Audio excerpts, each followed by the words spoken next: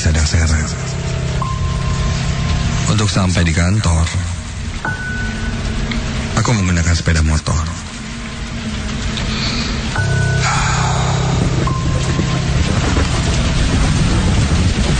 Dan biasanya aku melewati satu jalan yang rimbun dengan pepohonan. Ada jembatan juga. Dan pernah ada satu mitos tentang hantu anak kecil dengan boneka yang menggantung di pohonnya. Tanpa aku sebutkan nama jalannya, pasti kalian sudah tahu. Setiap hari aku melewati jalan itu. Kata orang, jika sudah malam hari, jalan ini lumayan angker. Aku sih percaya tidak percaya. Karena selama aku bekerja, setiap hari aku lewat jalan itu. Bahkan pulang malam, jam 9, jam 11 malam, tidak pernah terjadi apa-apa.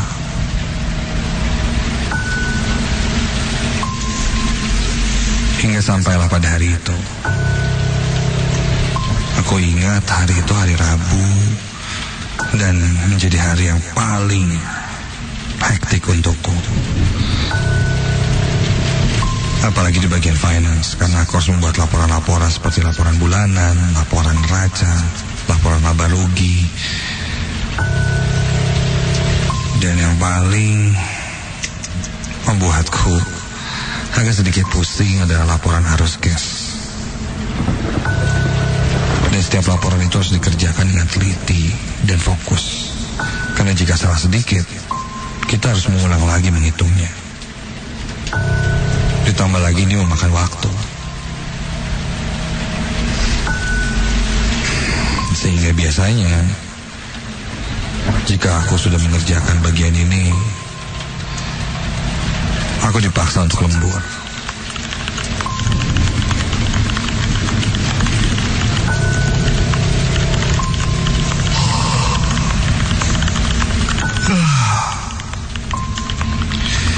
Sudah muncul rasa kantuk dan lelah.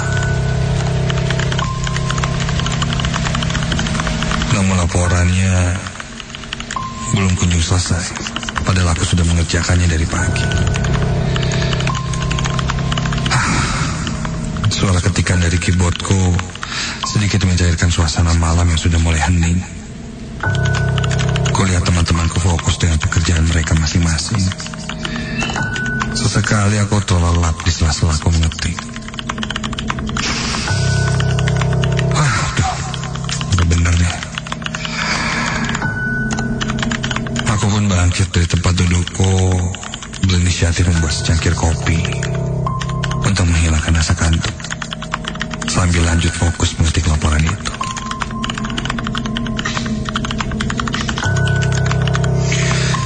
Singkat cerita, sudah menunjukkan jam 10 malam lebih. Satu persatu temanku mulai pamit. Hingga menyisakan aku sendiri.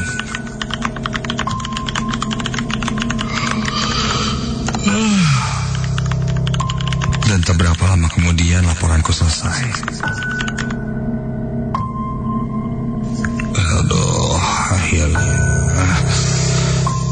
Balik juga nih. Ah. Setelah selesai, mematikan komputer, merapikan meja dan bergegas aku untuk pulang. Suasana kantor sudah kosong. Karena aku yang terakhir, kumatikan semua lampu di ruangan.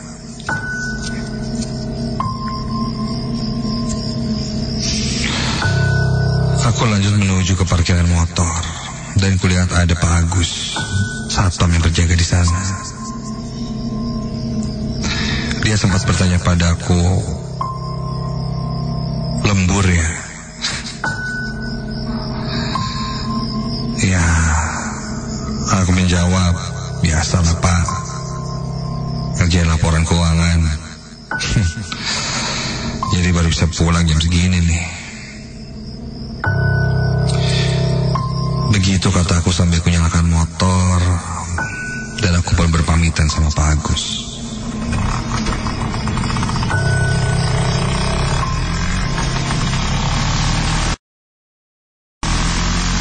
Udah hujan. Karena hujan sudah selesai ya sekitar jam 7 jam 8 malam tadi. Namun membuat jalanan menjadi basah dan licin. Aku pun tidak terlalu ngebut malam itu. Berjalan santai. Karena aku pun sudah kelelahan. Takutnya terjadi apa-apa.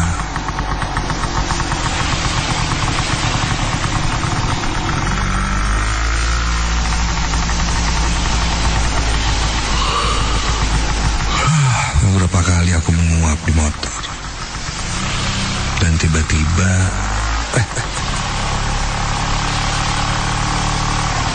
ada tetesan air yang jatuh tepat di sekitar keningku.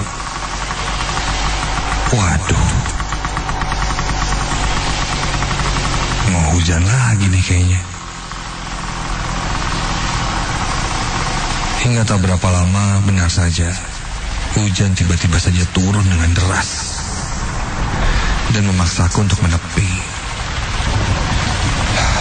Kutepikan motorku dan ingin mengambil jas hujan dari bagasi motor.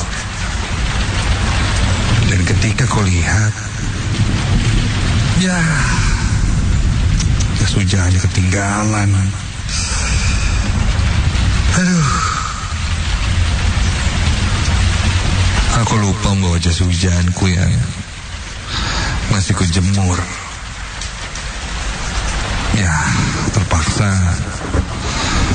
membuatku harus menunggu. Hujan agak reda, baru aku pulang ke rumah. Untungnya aku menepi di trotoar.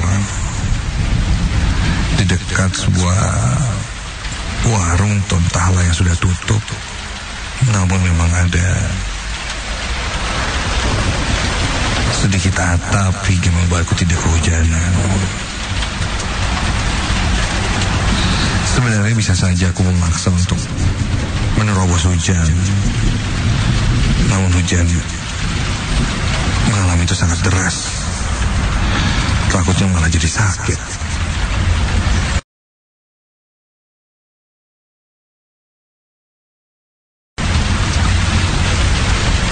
Waktu berlalu dan kulihat hampir jam 11 malam.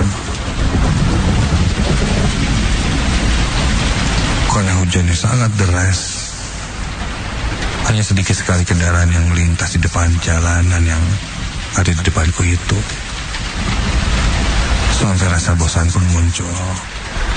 Aku coba cek handphone. Namun baterai handphoneku sudah habis. Tinggal beberapa persen lagi.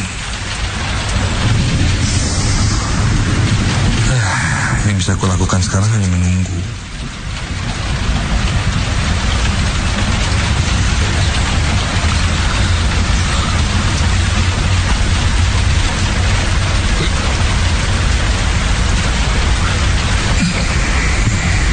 sekitar setengah jam kemudian hujan mulai reda.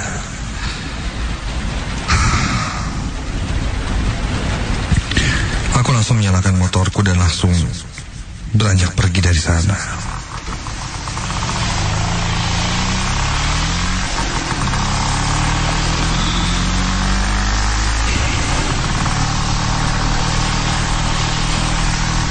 Aku lanjutkan motorku sampai ketika sudah berjalan cukup jauh dari tempatku berteduh tadi. Tiba-tiba motorku mogok.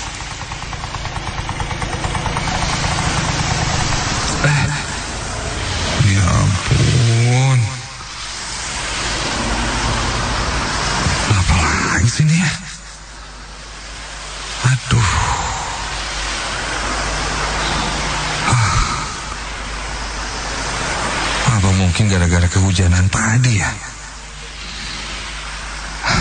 Aku langsung cek kondisi motorku. Ketika aku sudah mengecek kondisi motorku itu dan coba membersihkan businya karena mungkin takutnya basah hingga membuat motorku jadi mati tiba-tiba. Ketika itu ada seorang perempuan yang berjalan. Namun dia berjalan di seberangku. Perempuan itu sempat menengok ke arahku.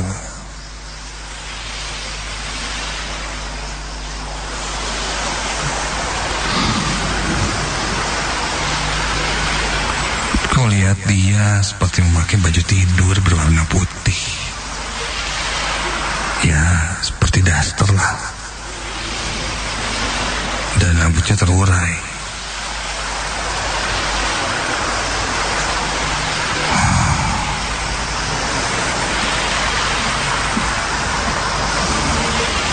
Muncul rasa inisiatifku.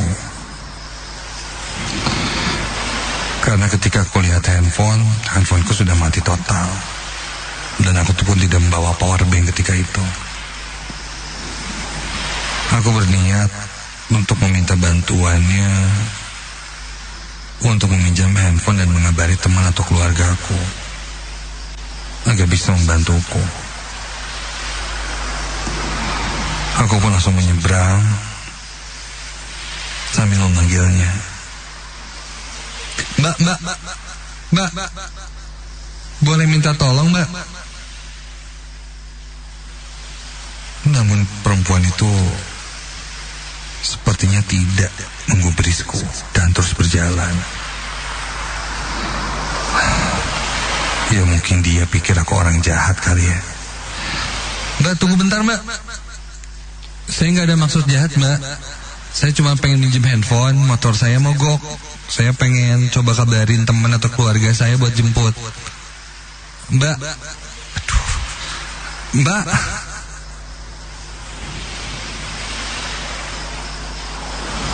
Aku pun berjalan semakin mendekati perempuan itu. Namun ketika semakin dekat, aku baru sadar. Aku baru sadar satu hal.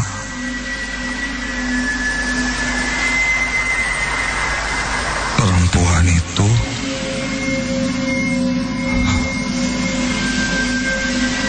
berjalan melayang di atas tanah.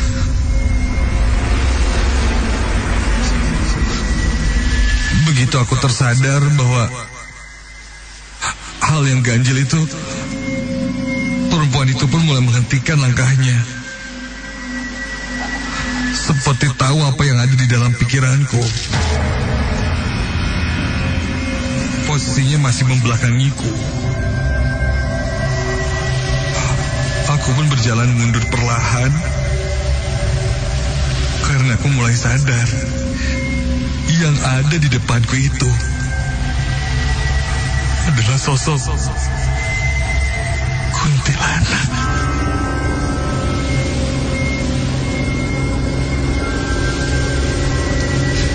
Dan tiba-tiba perempuan itu membalikan badannya dan memperlihatkan wajahnya. Astaga, kini terlihat wajahnya yang menyeramkan. Lidahnya menjulur keluar dari kedua matanya keluar juga seperti cairan berwarna merah, seperti darah.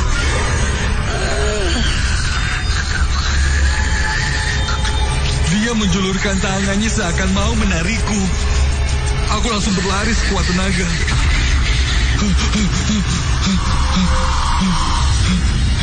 Aku mencoba mencari tempat yang ramai sampai akhirnya aku menemukan satu satu warung di mana ada beberapa orang yang sedang duduk di sana.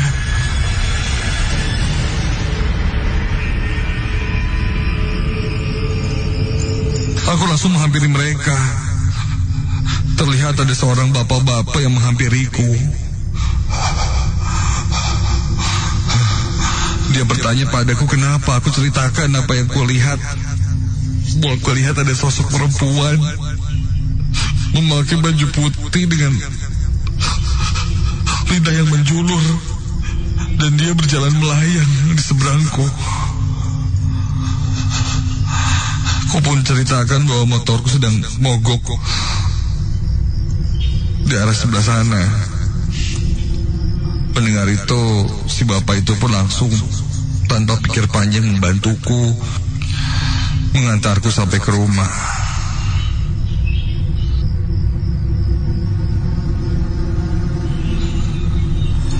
Keesokan harinya, setelah ku alami kejadian itu, aku sering mengalami gangguan-gangguan lain. Seperti mendengar suara orang yang sedang mandi di rumah, padahal tidak ada siapa-siapa. Mendengar suara rintihan menangis seorang perempuan. Dan itu terjadi ketika aku sedang sendirian di rumah. Entah ada hubungannya kah dengan kejadian yang ku alami malam itu atau tidak. Yang pasti, aku tidak mau lagi berbuat gegabah.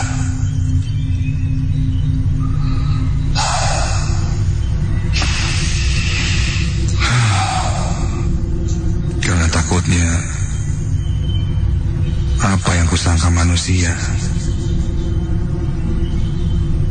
ternyata bukanlah seperti yang kukira.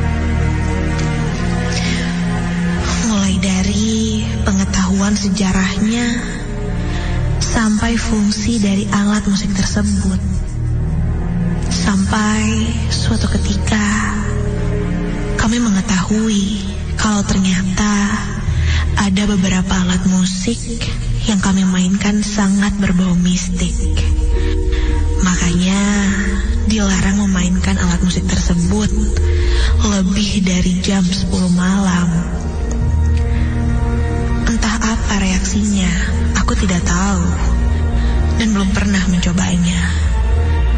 Tapi itu membuatku dan teman-temanku saat itu penasaran.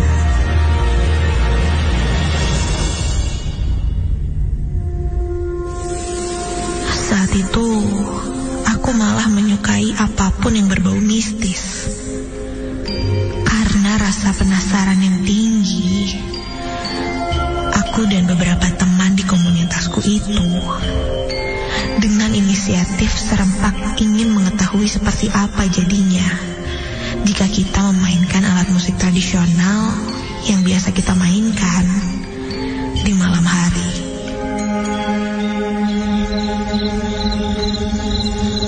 Singkat cerita, saat itu malam Jumat, kami membuat janji tempat biasa kami latihan.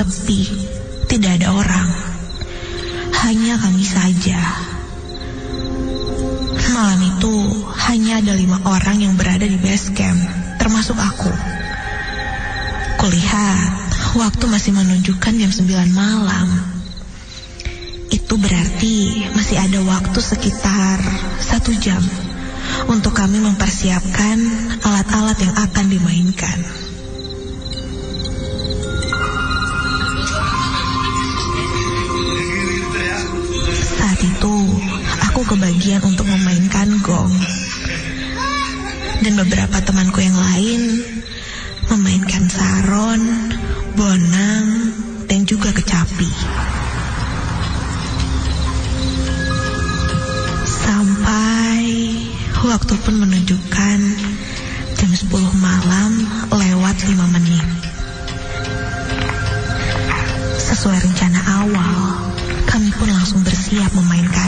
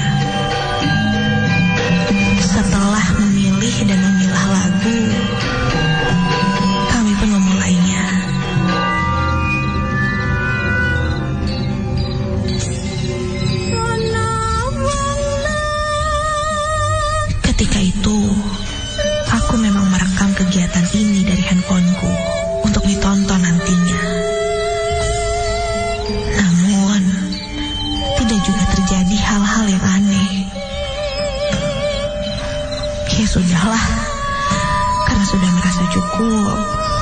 Kami memutuskan untuk mengakhiri saja dan pulang.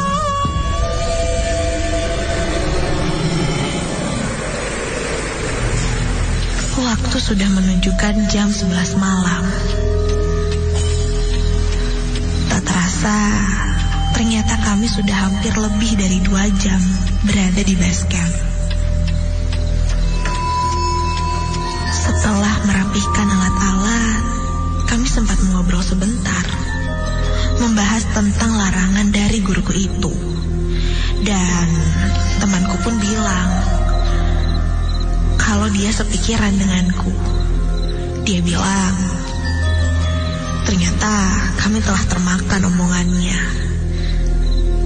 Sampai penasaran seperti ini. Dengan sedikit candaan, kami pun hanya menganggapnya sebagai bonus saja. Hitung-hitung, kita jadi tahu rasanya bermain gamelan di malam hari. Ternyata menyenangkan juga.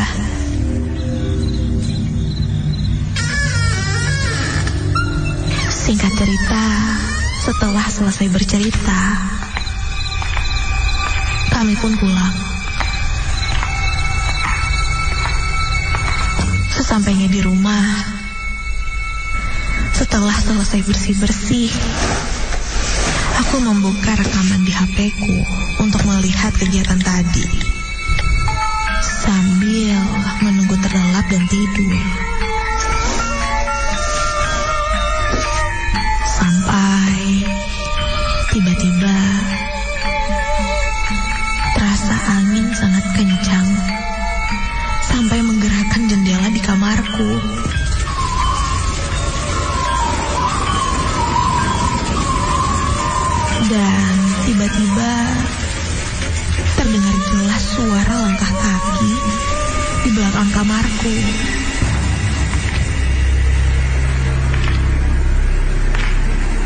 di dekat halaman.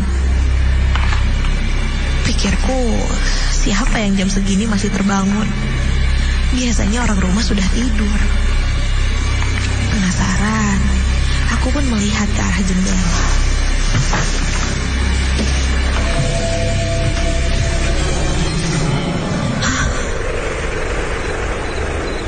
Kok aneh? Gak ada siapa-siapa.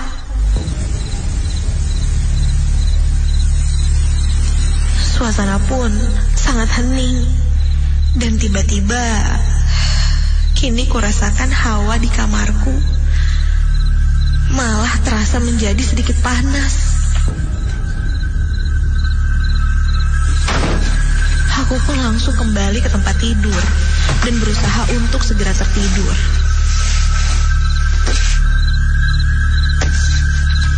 Sampai ketika aku sedang tertidur, entah jam berapa aku terbangun karena mendengar seperti su suara orang yang sedang menyinden.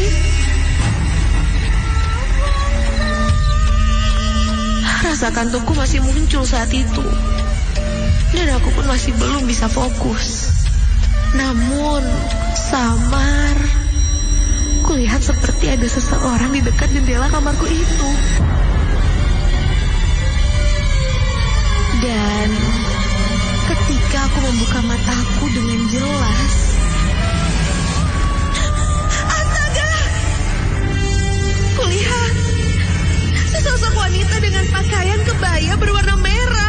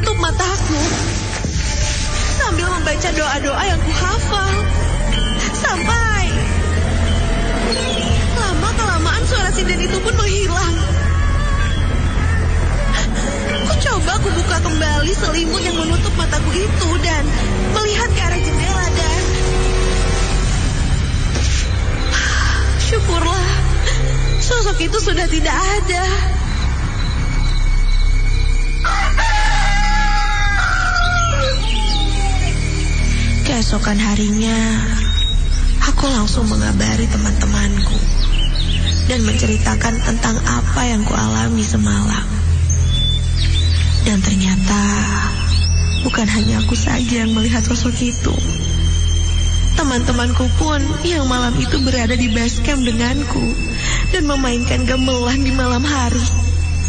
Melihat sosok yang sama denganku. Ada yang melihatnya di dalam mimpi dan ada juga yang sama denganku. Ternyata mungkin ada benarnya juga perkataan dari guruku tentang larangan memainkan gamelan di malam hari. Entah memang ada benar hubungannya atau tidak. Yang pasti, aku langsung terpikir. Mungkin kita memang sangat menantang dengan keberadaan mereka. Jadi, wajar jika mereka merasa terganggu. Semenjak kejadian itu, sampai sekarang, kami pun tidak berani lagi untuk melakukan hal itu.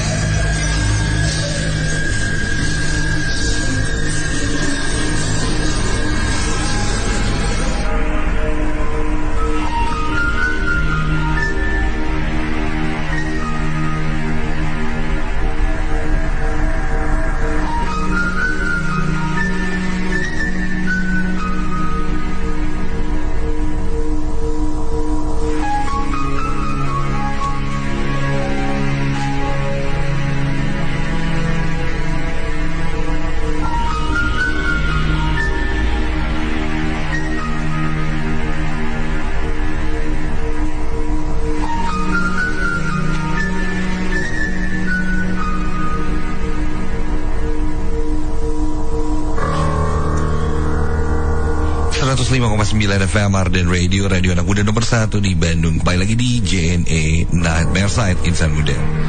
Dua cerita baru saja kamu dengarkan di JNE Nightmare Side Malam hari ini. Masih ada satu cerita terakhir Kiriman dari Insan Muda sudah masuk. Dan Akan kita dengarkan sebentar lagi. Tapi sebelum itu untuk kamu yang mungkin selama dengerin JNE Nightmare Side malam hari ini dapat sebuah kejadian-kejadian atau mengalami hal-hal yang cukup janggal atau kamu juga punya pengalaman seram yang terjadi mungkin beberapa waktu yang lalu atau mungkin di tempat kamu berada di sekolah kamu di rumah kamu. Kamu bisa share pengalaman ini insan muda ya.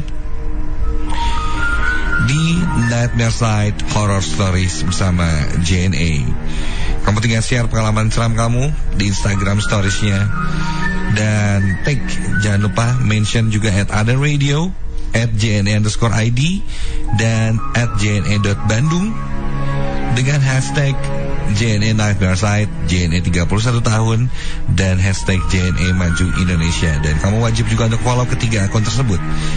Nanti tiga pengalaman seram akan kita pilih untuk jadi pemenang dan masing-masing berhak mendapatkan 200 ribu rupiah. Dan ini bakal ada setiap minggu. Minggu ini siapa kira-kira untuk pemenangnya? Dan jika kamu belum beruntung untuk minggu ini Kamu bisa ikutan di minggu depan lagi Insan Muda. Jadi pastiin. Kamu udah share pengalaman stories kamu Di Instagram Dan mention that ada radio At JNE underscore ID Dan at JNE.Bandung Jangan lupa hashtagnya ya Sekali lagi JNE Night Site Hashtag JNE 31 tahun Dan hashtag JNE Maju Indonesia Untuk Nightmare Site Horror Stories bersama JNE. Dan di jam 8 malam tadi Night Reset udah menayangkan satu tayangan di JNE Night Reset Doku Misteri di YouTube channelnya Arden Radio. Dan yang pastinya ini sebuah tempat yang kita datangi ini sangat-sangat banyak pemunculan-pemunculan sebenarnya.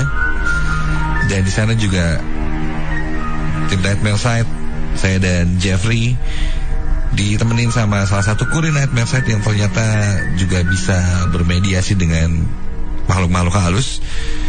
Dan akhirnya kami menemukan satu sosok menjadi urban legend di sekitar daerah sana. Sosok perempuan inilah yang kerap kali terlihat di sebuah bangunan gedung cai atau bendungan air peninggalan zaman Belanda di daerah Bandung Utara itu. Dan Kang Ihsan, salah satu kurir JNE, melihat sosok itu dan bahkan masuk dimediasikan ke Kang Ihsan.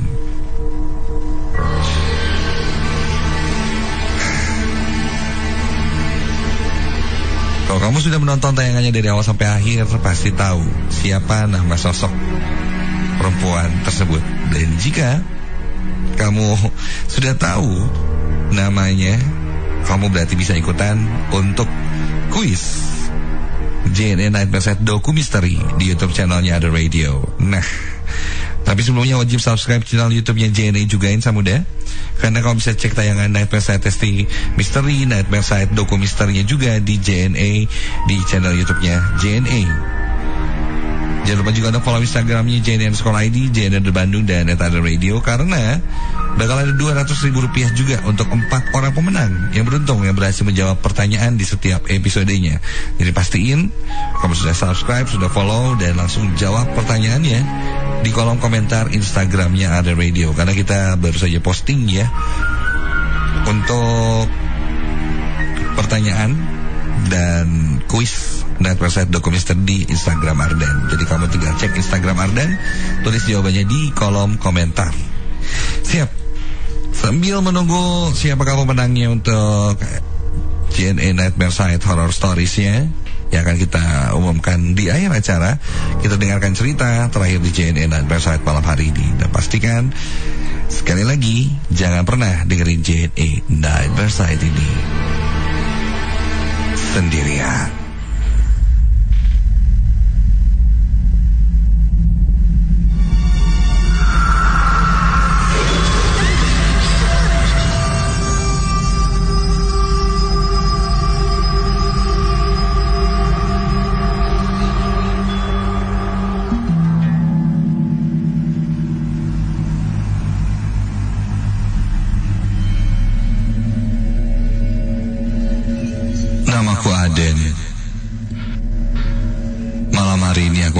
Menceritakan sebuah pengalaman yang aku alami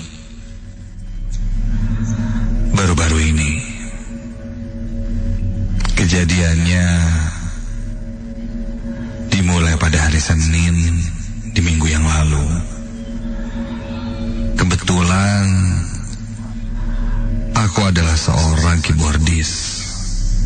Ya, bisa dibilang jika ada panggilan untuk manggung di acara pernikahan atau mengisi-ngisi acara, pasti aku ambil untuk menambah penghasilanku. Saat itu aku mendapatkan job untuk mengisi atau menghibur di acara camping salah satu komunitas motor. Lokasinya di sekitar daerah Banjaran.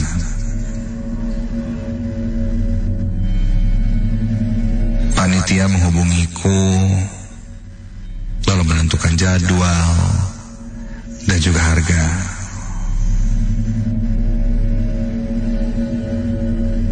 Waktu untuk aku mengisi acara saat itu akan dimulai setelah Isya. Aku pun setuju dan mulai bersiap-siap.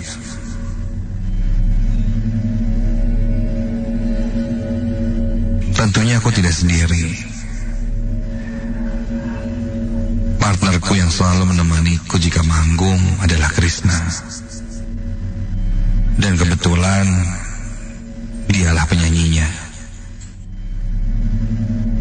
Setelah menentukan playlist yang akan kita bawakan, kami pun bersiap berangkat ke sana. Kami berangkat menggunakan sepeda motor.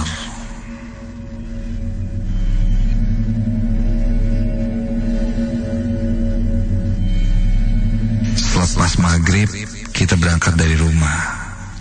Agar ketika sampai, tidak menunggu terlalu lama.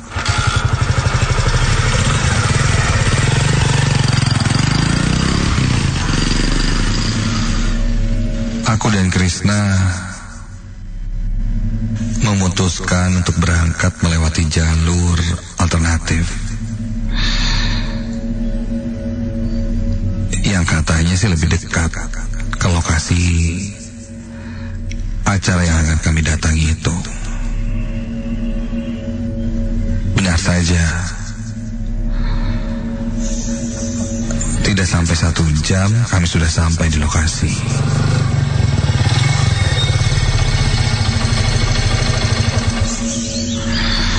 Kami masih mencari-cari tempat camp yang mengundang kami itu di sebelah mana. Ketika sudah hampir sampai ke lokasi, Krishna menunjukkan aku satu tempat. Dia menunjuk sebuah tempat yang kosong, seperti rumah bentuknya, dan dia bilang padaku, katanya, ada satu video viral yang menangkap penampakan kuntilanak. Dan di situ tempatnya. Aduh, mendengarnya aku malas. Aku menepuk dia dari belakang. Pada saat itu Krista yang sedang menyetir. Eh, eh, jangan ngomong aneh-aneh dong. Jangan ditunjuk-tunjuk juga, Riz. Udahlah. Seketika saat kami melewati tempat itu, kami terdiam. Dan suasana pun berubah jadi dingin sekali. Dengan hawa yang sudah tidak enak. Aku meminta Krishna untuk agak ngebut. Karena sebentar lagi acara juga mau mulai. Tak lama kemudian, aku dan Krishna pun sampai di lokasi.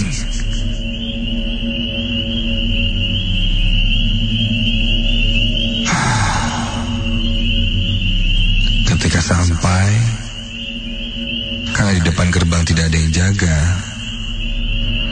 ya kami pun langsung masuk saja.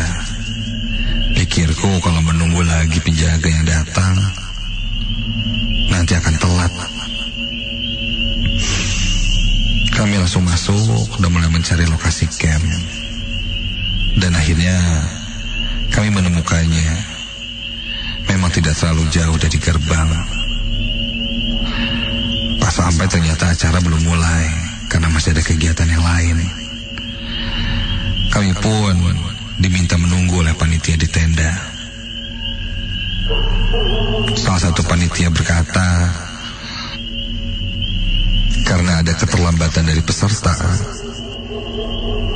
Jadi panitia memutuskan kalau hiburan akan dimulai jam 9 malam.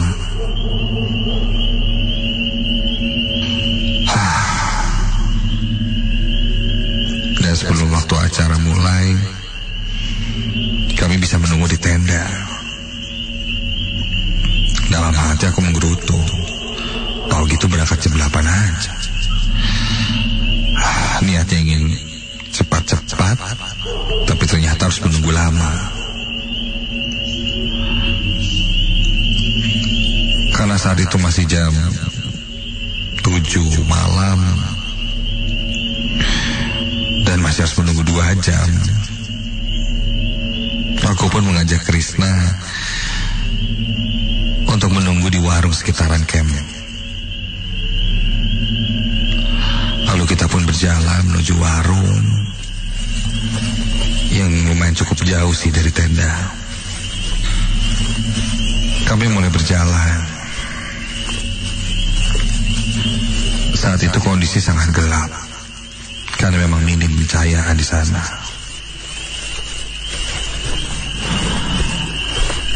Karena jalan yang sangat gelap, tiba-tiba Krishna tidak sengaja menendang sesuatu.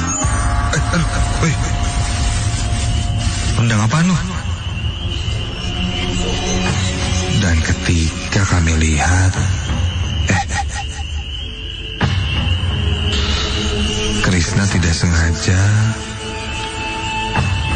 menendang sebuah nampan yang berisi ah, ini sih sesajen. Iya, Krishna menendang sesajen yang disimpan di pinggir jalan. Yang berisi ada kopi, kopi hitam tentunya, rokok yang sudah menyala, telur ayam kampung, yang akhirnya berserakan.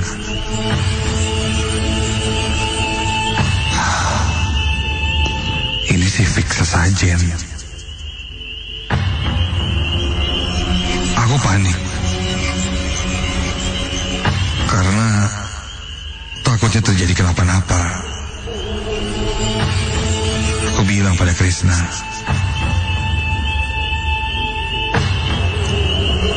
lo udah nendang sajen.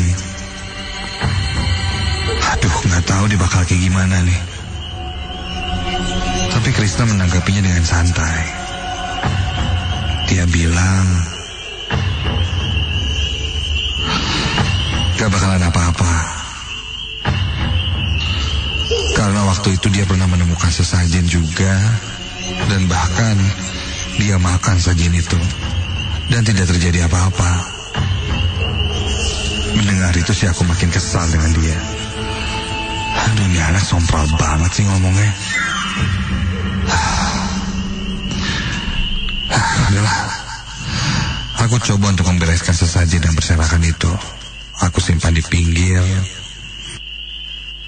Ya, walaupun begitu, tetap saja bentuknya sudah berantakan. Telurnya pecah. Gelas kopinya sudah habis. Ya udahlah, mau gimana lagi. Kami pun lanjut berjalan sampai akhirnya sampai di sebuah warung. Warung itu dijaga oleh pasangan suami istri yang sudah tua dengan anak yang masih kecil. Aku memesan kopi dan sambil menunggu kami pun mengobrol dengan yang punya warung. Ya, pertanyaan standar lah, sudah dari kapan berjualan di sana? Dan dia cukup lama. Ya, bisa dibilang sudah hampir tahunan lah. Bapak itu sudah bikin warung di sana. Kami pun ngobrol ke hal-hal lain. Tertawa-tawa. Bapak ini punya selera humor yang lumayan membuat ku tersenyum dan melupakan kejadian sebelumnya tentang sesajen yang ditendang Krishna. Tidak terasa, akhirnya waktu menunjukkan jam 9 malam. Aku putuskan untuk kembali lagi ke tenda. Dan sepertinya acara akan mulai. Kami buru-buru berlari ke arah tenda. Namun ketika sampai di tenda, ternyata acara masih belum saja mulai. Eh, gimana sih nih? ngaretnya makin jauh dari rundown sebelumnya. Panitia bilang katanya setengah jam lagi. Aku cukup kesal karena sudah terlalu lama menunggu. Yaudah, saya nunggunya di warung aja. Begitu kataku ketus. Aku dan Krisna pun kembali lagi ke warung tersebut. Dan pas jalan kembali ke warung itu, Chris, bentar. Lihat tuh. Bulu kuduku seketika berdiri, merinding. Karena sesajen yang tadi ketendang oleh Krishna sekarang kembali utuh seperti semula. Kopinya penuh. Bahkan airnya masih panas karena terlihat mengebul. Rokok yang masih menyala dan telur yang tidak pecah. Aneh. Padahal tadi jelas sudah berserakan ke mana-mana. Aku dan Krista saling bertatap. Bulu kuduku tahan hentinya berdiri, merinding. Tanpa pikir panjang, kami pun langsung berjalan menuju warung. Aku masih coba berpikir positif. Ah, ada yang sudah menggantinya, warga sekitar atau entah siapalah itu. Hingga saat jalan jalan ke arah warung, kami berpapasan dengan seorang pemuda. Dari umurnya sih kayaknya masih di bawah 20 tahun. Dia pakai celana pendek, bajunya kotor dan basah kuyup. Dan terlihat sangat kedinginan. Aku pun bertanya sama dia. Ah, mau ke mana, ah? Dia tidak menoleh sama sekali.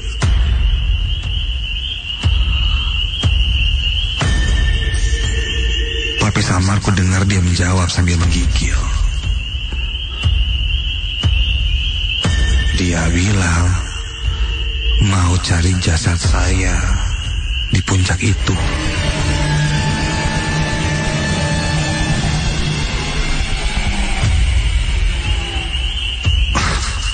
Tak dulu nih. Jawaban kok agak aneh ya. Iya awalnya kita berpikir mungkin dia orang dalam gangguan jiwa. Akhirnya dia pun melewati kami dan terus berjalan. Udahlah. Kami pun lanjut berjalan menuju warung.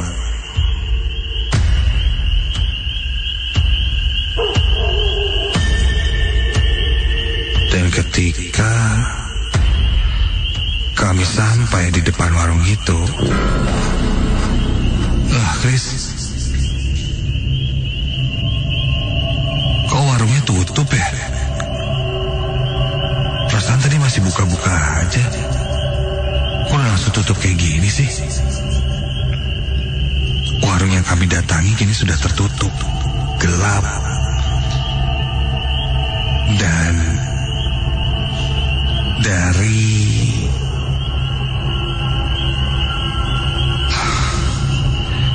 dari bentuk warungnya sih. Sepertinya ini bukan baru saja tutup. Tapi sudah tutup. Dalam waktu yang cukup lama. Kursinya reot. Sarang laba-laba di mana-mana.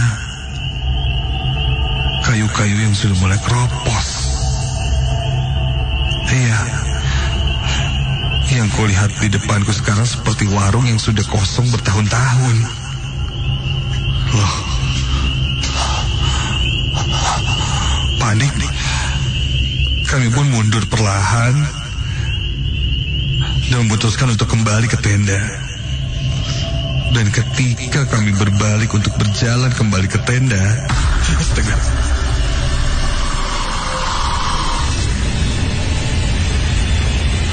Langkah kami terhenti ketika kami melihat pemuda yang sebelumnya berpapasan dengan kami terlihat sedang duduk jongkok di depan nampan sesajen itu. Dan dia memakan telur dengan cangkangnya lalu meminum kopi sesajen yang yang ada di sana juga. Dan dia menengok ke arah kita. Dan ketika kulihat, wajahnya terlihat sangat pucat. Bola matanya hitam. Dan dia menengok saling bertatapan denganku lalu lalu dia bilang Tolong Cari jasad saya di puncak Tolong Tolong Lagi-lagi dia meminta kami untuk membantunya mencarikan jasadnya di puncak. Aku dan Krishna langsung lari ke, ke arah tenda. Namun ketika ketika kami seharusnya sampai ke arah tenda.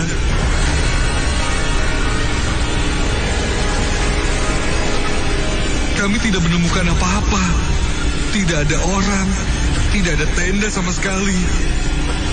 Bahkan tempat kita menyimpan motor pun tidak ada.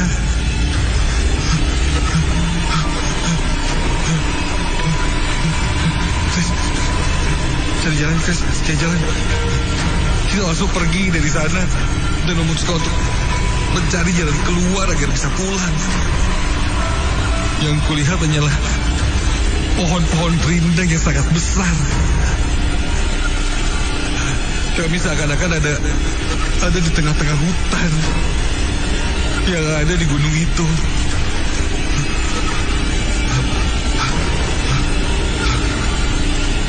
Tanpa berlama-lama, kami pun coba mencari jalan keluar. Terus berlari. Terus berlari dan berlari. Namun anehnya kita hanya seakan-akan berputar-putar di jalan yang sama. Bahkan kami bertemu lagi dengan pemuda yang masih dalam posisi yang sama. Berjongkok di depan sesajen itu. Kakiku yang sudah mulai lemas membuatku terduduk di tanah itu. Lalu aku berdoa sebisa mungkin. Aku tutup mata dan mengajak Krishna pun untuk berdoa dengan khusyuk.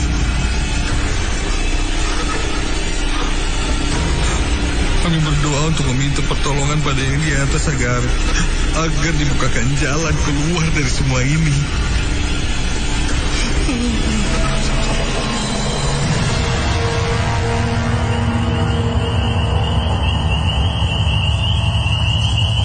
Sampai suasana yang tadinya sangat hening kini perlahan mulai terdengar suara binatang-binatang malam.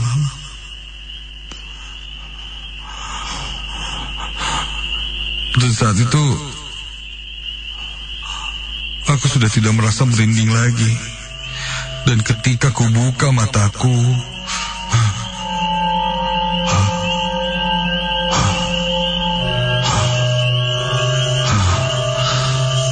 ada gerbang di depan kami. Chris, ayo cepet. Aku mengajak Krishna langsung berdiri dan berlari keluar menuju gerbang. Dan di sana kami bertemu dengan penjaga tempat itu. Kami pun coba ditenangkan oleh penjaga itu. Karena wajah kami sangat panik dan ketakutan. Dia bertanya kenapa. Aku menjelaskan dari awal sampai tadi. Bahwa apa yang kami alami benar-benar tidak masuk akal. Dan makin tidak masuk akal ketika penjaga itu menanggapi cerita kami. Dia bilang, hari ini tidak ada yang camping. Dan hari ini pun tidak ada kegiatan apa-apa. Bahkan warung pun sudah tutup. Paling malam buka sampai menjelang maghrib. Seketika itu aku dan Krista panik. Kami coba ditenangkan oleh penjaga yang ada di sana. Meskipun demikian, aku bilang aku dihubungi oleh panitia yang membuat acara dan kami melihat tendanya, orang-orang yang berkumpul. Untuk lebih meyakinkan, aku pun coba menelpon panitia yang menghubungiku. Dan ternyata nomornya tidak terdaftar. Tidak aktif. Saat itu sudah menunjukkan jam 12 malam.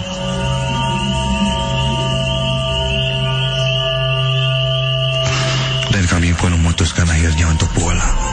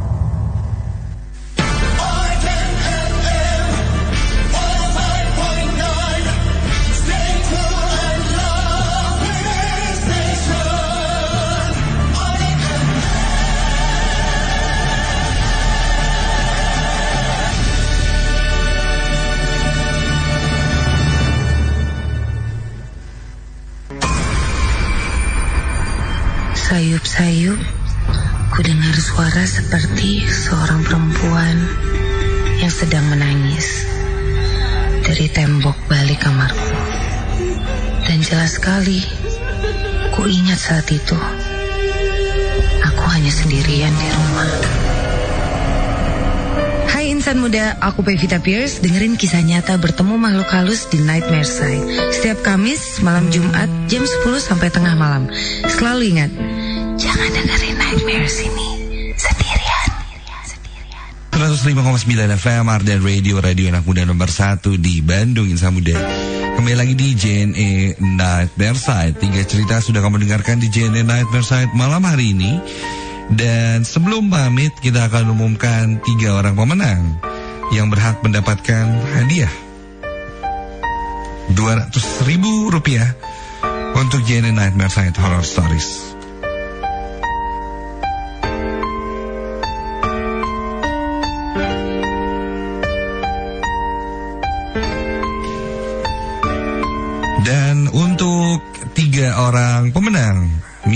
adalah selamat untuk at Vinka Febriana 25 at Kang underscore Daliets dan at Riva AASH underscore. Sekali lagi untuk tiga orang pemenang yang berhak mendapatkan 200 ribu rupiah di JNN Nightmare Side Horror Stories malam hari ini Selamat untuk at Vinka Febriana 25 at Kang underscore Daliets dan at Riva AASH underscore Oke Dengan pengalaman-pengalaman ceritanya yang uh, cukup panjang nih Insan Muda ya. Dikasih latar belakang. Ini ada yang bercerita tentang pengalamannya menginap ya. Dan ini sampai ada foto-fotonya juga. Terus ada cerita tentang di rumah sakit ya ini ya yes di salah satu rumah sakit di Bandung dan satu lagi tersesat di alam gaib dari Riva S underscore. Selamat untuk tiga orang pemenang yang belum beruntung untuk minggu ini. Kau bisa ikutan lagi minggu depan insya Allah di JNN Nightmare Site Horror Stories. Dan kau bisa cek Instagramnya Arden. Ada kuis juga untuk JNN Nightmare Site Doku Misteri YouTube yang juga berhadiah 200 ribu rupiah untuk empat orang pemenang. Terima kasih sekali lagi untuk Insan Muda yang sudah mendengarkan JNN Nightmare Site. Terima kasih untuk JNN yang selalu setia untuk nemenin di masa di Nightmare Site. Dan untuk kirim cerita pastinya ya. Yang serem-serem di net website Tapi untuk kirim paket dan barang itu bisa via JNE Jangan lupa di follow Instagram at JNE underscore ID JNE.Bandung untuk info-info lebih lanjut. Seputar JNE dan subscribe YouTube channel JNE Karena kamu juga bisa tag ya Dan cek tayangan YouTube ya JNE Karena Nightmare saya juga bakal ada di sana Di setiap hari Senin jam 8 malam Dimas Pamit Assalamualaikum warahmatullahi wabarakatuh Selalu tingkatkan keimanan dan ketakwaan kita kepada Tuhan Yang Maha Esa. Dengan itu kita bisa terhindar dari hal-hal yang negatif dan tidak kita inginkan. Sampai ketemu lagi di JNE Nightmare Site minggu depan dan selalu ingat, jangan pernah dengerin JNE Nightmare Site ini sendirian.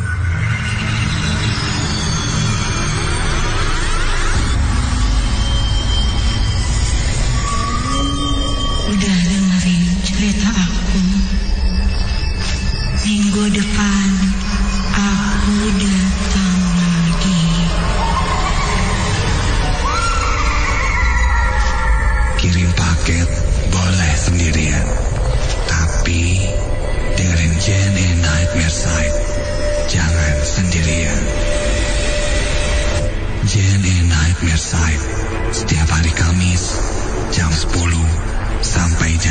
12 malam.